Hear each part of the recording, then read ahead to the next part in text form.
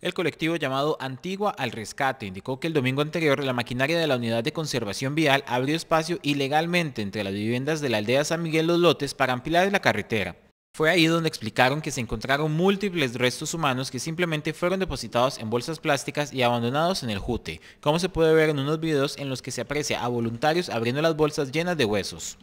Explosión del volcán, como pueden ustedes ver, aquí tenemos este, tenemos aquí unos fémurs, donde se están identificando ya aquí una persona, este es de diferente tamaño, esta es otra persona más, y aquí están los demás restos del tórax, de la caja torácica, donde estamos viendo, y, un homoplato de la cadera, donde estamos identificando plenamente que sí son restos de personas